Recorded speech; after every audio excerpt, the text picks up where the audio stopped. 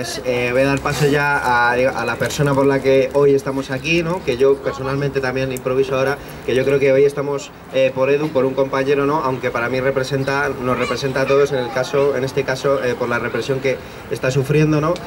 porque en cualquier momento podemos ser cualquiera de nosotros y de nosotras, ¿vale?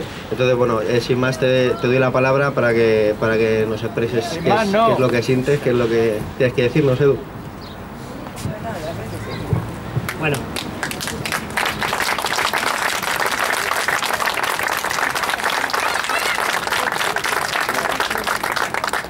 Bueno, primeramente, eh, gracias a todas y todos por venir, gracias a todas las organizaciones, eh, tanto políticas como eh, sociales, y cuando digo sociales digo a todas las plataformas que están aquí, que es lo mejor que tiene esta localidad, que es el alma eh, buena, que es el alma eh, bonita y bella de esta localidad y gracias por el apoyo que me estáis dando, que en fin de cuentas esto es una anécdota lo que me ha podido pasar a mí.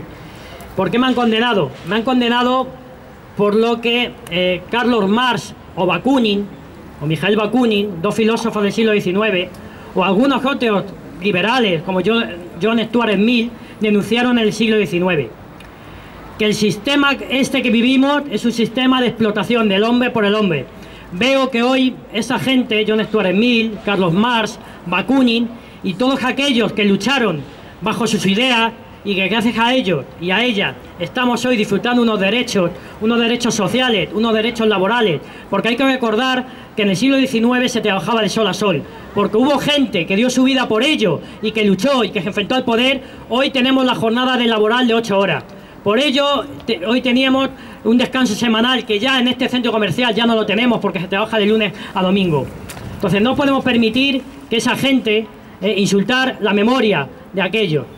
Se me ha condenado por defender a los trabajadores y a las trabajadoras. Era imposible que me defendieran un juicio con algo que no ha existido. ¿Cómo voy a, a mantener unas pruebas de un caso que no ha existido? Porque, primeramente, si yo hubiera llamado explotador a alguien, hay que ver si explotador es un insulto, porque lo dice la Real Academia de la Lengua.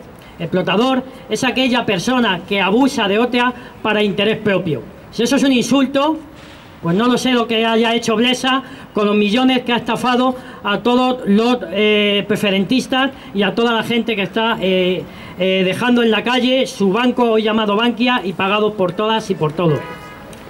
se me ha condenado por una acción sindical. No puede ser que las acciones sindicales, que tienen un marco concreto según la legislación laboral, pasen a vía judicial. Eso es lo que está pretendiendo la, patronal y esto es lo que está pretendiendo el gobierno. Y debemos de recordar que hace, ya 78 años, 150 metros más para allá, miles y miles de madrileños y de alcobendenses y de alcobendensas partieron con un fusil en la mano o solamente con las manos propias con fuerzas de seguridad del Estado leales al gobierno de la República, guardia de asalto y guardias civiles, todos juntos para defender la democracia. Porque a la derecha de este país, cuando, le, cuando ya no puede hacer uso del Parlamento y de las leyes para reprimir a los trabajadores y a las trabajadoras, hace fuerza bruta para ello. Y en, eso, en ese aspecto y en esa coyuntura estamos ahora. Debemos de movilizarnos, no ya solo por mi caso, que es una anécdota pagar 96 euros. No voy a pagar, porque un verdugo no puede ser una víctima. Las víctimas son los que hace un verdugo, no un verdugo es una víctima, y eso no se puede permitir. Pues eso digo yo. No se puede, no se puede. Este acto, en fin, cuando lo planteamos, dijimos que no iba contra nadie, iba en positivo, iba a favor de qué. Ya vemos que aquellos mismos que nos gobiernan que en un momento determinado salen defendiendo a la policía, pero no tienen ningún problema en llevarse una moto de la policía y al policía mismo por encima cuando se le va a multar a ellos, ya lo vemos qué tipo de, demócratas que son, quieren demócratas para los demás, pero no para ellos. Pues también hay que solidarizarse con ese compañero de agente de movilidad que estaba haciendo su trabajo y esa señora, esa señora que por culpa de ella, y por eso la estoy mencionando, estamos trabajando aquí, aquí estamos trabajando, de lunes a domingo, para que veamos, por 800 euros, que es lo que se está trabajando aquí. Y no se puede permitir. Y hay que mandar un mensaje bien claro. es justo rebelarse. Y si no se cumplen los derechos, es, justo, que la ciudadanía y los trabajadores y las trabajadoras salgan a la calle como hemos hecho hoy aquí todos y todas. Porque el pueblo es el que manda y ellos deben de obedecer al pueblo. Así de claro lo debemos dejar. Y si tenemos que salir a las calles con nuestras manos, con nuestras manos. Lo dice Diego Cañamero, nunca usando la violencia, pero siempre usando que somos el pueblo y somos los que mandamos. No manda ni el corte inglés, no manda ni Banquinter, no manda ni el campo, mandan los trabajadores y las trabajadoras y los ciudadanos y las ciudadanas. Nosotros somos la democracia, ellos no son la democracia. El pueblo unido jamás será vencido. El pueblo unido jamás será vencido. El pueblo unido jamás será vencido. El pueblo. La voz del pueblo no es ilegal. Bueno, por, por último, porque estamos esperando a un compañero de Coca-Cola que va a venir a contarnos, porque represión no solamente lo que se me ha hecho a mí, y lo que ha hecho la ESPE con una moto de la Policía Municipal, eso también es represión, hay que decirlo, hay que denunciarlo, y hay que llevarla ante los juzgados a esa señora. Represión también es despido. Represión es que te hagan trabajar de lunes a domingo y que te den un martes cuando ellos quieran. Eso también es represión. Represión es pagar 800 euros a un trabajador o hacer un ERE en una empresa cuando tiene miles y millones de euros de beneficio. Eso es la verdadera represión que hay en este país. Y eso no se puede permitir. Un Estado democrático y un Estado de derecho no puede consentir que haya sinvergüenzas que se estén luqueando y hay, otra- y hay una parte de la población que no tenga ni un vaso de leche para desayunar por las mañanas. Y esto está pasando en este país. Por ello, compañeros y compañeras, lo que hay que hacer es fomentar la unidad. La unidad del pueblo, la unidad de los trabajadores, la unidad de la izquierda ante una cuestión. ¡Viva la democracia! ¡Viva la lucha de la clase trabajadora!